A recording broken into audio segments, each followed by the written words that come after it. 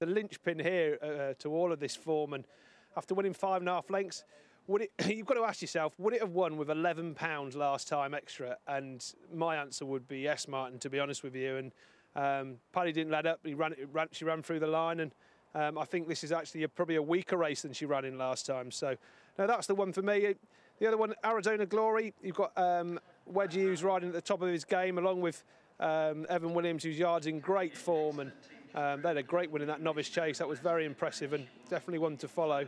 Um, there's one that's needing a, a, good kick along, a bit like getting me out of bed in the morning, which is the top horse, excellent team, but um, doesn't look like he's really listening to his uh, to his rider there. But he's just having a good day. He's enjoying this summer jumping down here, and uh, luckily the weather's been okay. I thought we were going to, when we first started the show, we had a little shower, and I came through a good few on the way down, but I caught up with the chief executive, and he's had 40 mile an hour winds this morning. Luckily, they've dropped, and the, the flag's raised, and over to Martin Harris, our commentator. And they're off. Over the extended two miles for Division 1 of the Remembering Dear Lauren Scott Memorial Handicap Hurdle. Excellent team.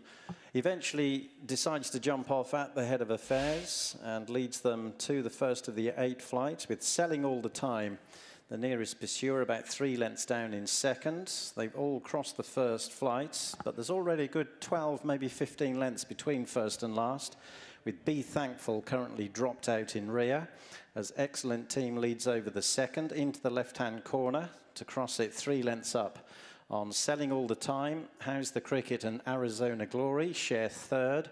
Saintbury Ladies held up in fifth in front of Lady Marwa and Be Thankful who lacked fluency at the second, continues to be held up last of all, but the field is closing ranks. As they race left-handed around the turn, it's excellent team out in front by only a length from Selling All the Time, who's tracked closely by both Arizona Glory and How's the Cricket.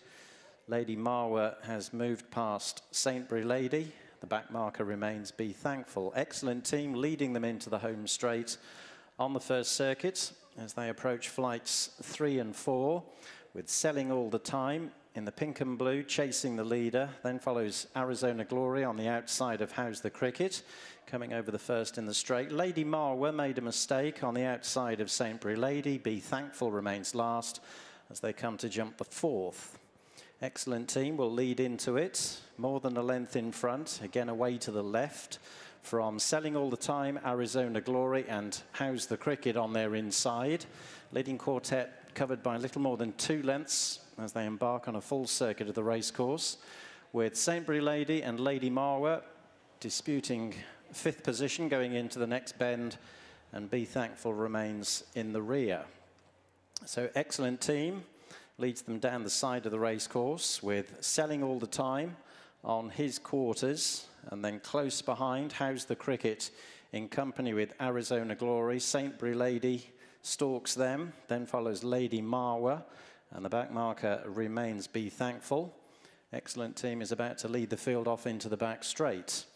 With Selling All the Time on the leader's quarters, just putting his head to one side as they head off down the back. How's the Cricket's third? Arizona Glory on the outside is fourth. Then follows. Brie Lady and Lady Marwa. And finally, Be Thankful over the first in the back straight. Excellent team. Jumped it fluently in front from selling all the time. Arizona Glory gets a shake of the reins as. Brie Lady improves between Arizona Glory and How's the Cricket, jumping three from home, where Be Thankful relegated Lady Marwa to be the back marker. So heading into the turn, it's excellent team with a narrow advantage over selling all the time with How's the Cricket. Brie Lady and a ridden along Arizona Glory in line behind the front pair. Then a couple of lengths back to Be Thankful and Lady Marwa as the leaders race halfway round the turn for home two flights of hurdles to jump once they level up. Excellent team, still in front of selling all the time with Saintbury Lady moving closer into a clear third as excellent team gives way off the home bend. Selling all the time's gone on, but Saintbury Lady is immediately coming after her as both of them head over towards the stand side. How's the cricket? Arizona Glory, the fading excellent team are the next three. Saintbury Lady rose in front at the second last from selling all the time and now under Paddy Brennan. It is. Brie Lady moving on by a couple of lengths, selling all the time, struggling to keep straight in second. Brie Lady at the final flight, rather fluffed her lines, but she's more than two lengths clear and doing more than enough in the closing stages. Saintbury Lady goes on to defy a rise in the weight, speeding, selling all the time. How's the cricket? Arizona Glory on the heels of the front three ran fourth. Well, that meant a lot to Paddy Brennan. See him, the reaction to him as he crosses the line. Three or four pats. Look at this. Lovely shot. Big pats down the neck. Uh, get in there, I think we see with a couple of strides after that as well. So knows he's given this a great ride and uh, has followed it well from, we were talking about it before, you know, she won well last time, up 11 pounds, and she was 12 to 1 when she won last time bit shorter this time, and she's bunny hopped the last. Paddy saw a great stride, two out, and centre it. I think she was going to win anyway, no matter how she met that fence, but he, he made her mind up.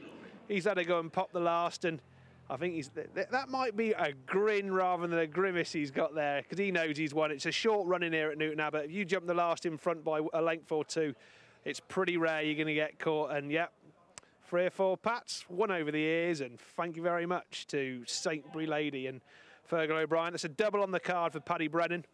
Um, really strong in the finish, and he was taken a little wide off the bend by selling all the time. He was run around a little bit in second. They they started on the far rail at the top of the straight, and they both ended up on the inside rail. So, um, but no, at nine or four, it's a solid price here for a for a smashing winner. And you think, I think Martin, she could follow up again in the near future. It's um, she's won this easy enough. She's going to get you know a few more pounds with a handicapper, but I say she's got a few more pounds in the locker